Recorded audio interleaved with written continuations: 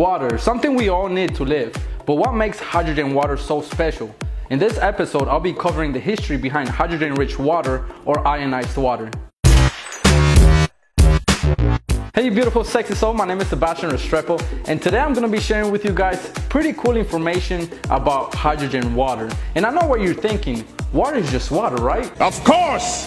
Well, did you know there are several natural springs around the world where you can travel to and drink what they call miracle water? And they call it miracle water because thousands of people have traveled to these special places and they have experienced positive side effects from drinking these waters.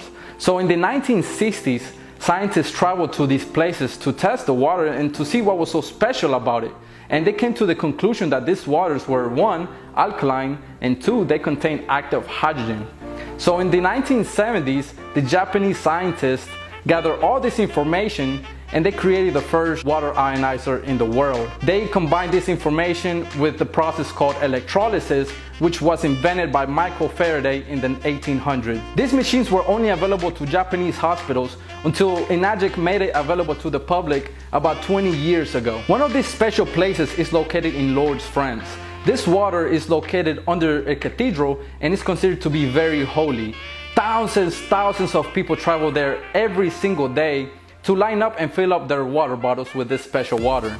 Last year, a local man from Greenville, South Carolina traveled to this place in Lourdes, France because he was considered terminally ill by the doctors. He didn't give up. He traveled to this special place, he drank the water, he felt the energy from this place, and he brought this bottle as a gift. I'm not sure if you can see the Virgin in front of this small bottle, but that's the Virgin of Lourdes. So this water is considered very, very holy, and that's why thousands of people travel to this special place every year. The second place that I want to talk to you guys about is located in Hunza Valley, Pakistan. The people there live up to 120 years old with no diseases whatsoever. Their water is one of their main secrets. And as you can see in this video, this water travels down their mountains and the cloudiness is actually the hydrogen in the water.